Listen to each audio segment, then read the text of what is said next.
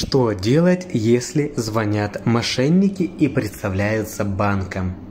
В последнее время участились звонки от неизвестных лиц, которые представляются сотрудниками банка и пытаются под различными предлогами выудить у вас ценную информацию, а именно номер договора, номер карты, срок действия и трехзначный код с обратной стороны. Единственной целью этих прохиндеев является оставить вас без средств к существованию и списать всю вашу электронную безналичность под подчистую.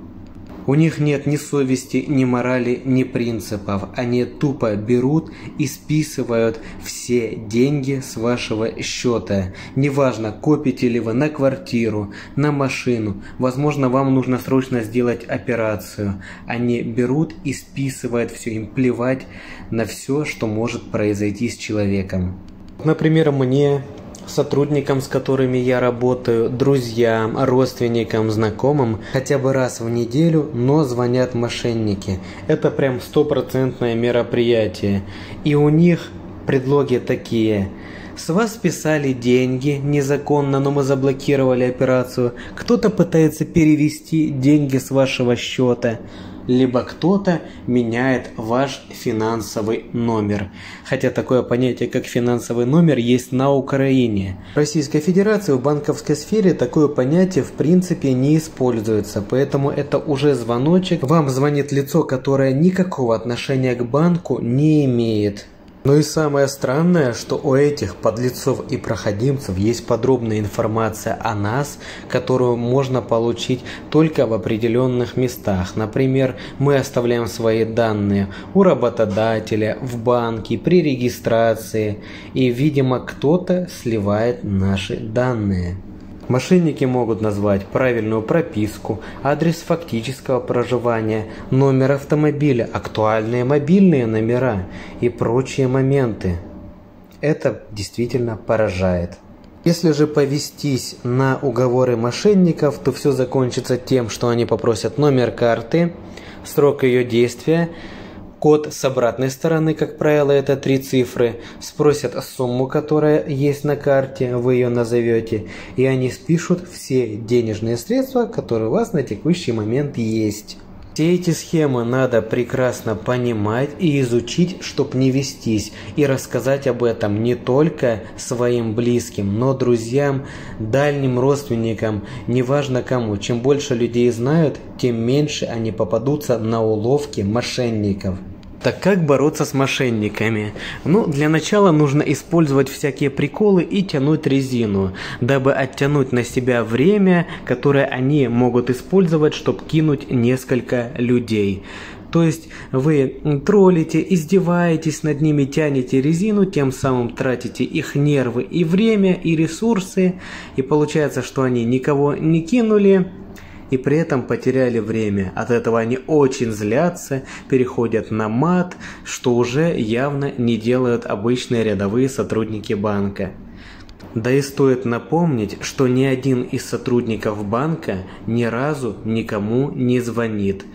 Возможно, есть какие-то исключения, но даже официальные сайты и официальная информация от банков говорит о том, что никакая служба безопасности и никакой сотрудник вам ни при каких условиях не позвонит и тем более не будет спрашивать какие-либо ваши реквизиты, данные, либо данные вашей банковской карты. Второй способ – тоже очень простой. Вы можете просто послать этого человека на три буквы и посередине есть буква У. При этом на всякий случай позвоните в техподдержку банка, в реальную, не перезванивайте на тот номер, с которого позвонили, даже если он на вид такой же, либо похож на номер горячей линии вашего банка.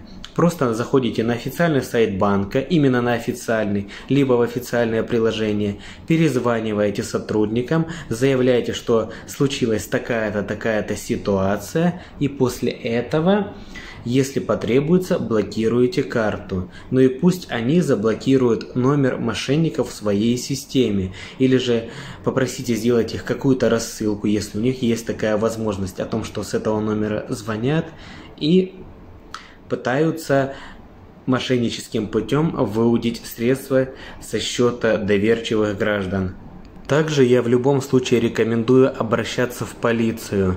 Нужно как можно больше собирать заявлений, фиксировать все факты, настаивать на своем. Возможно, этих прохиндеев поймают и отобьют все желание обманывать людей.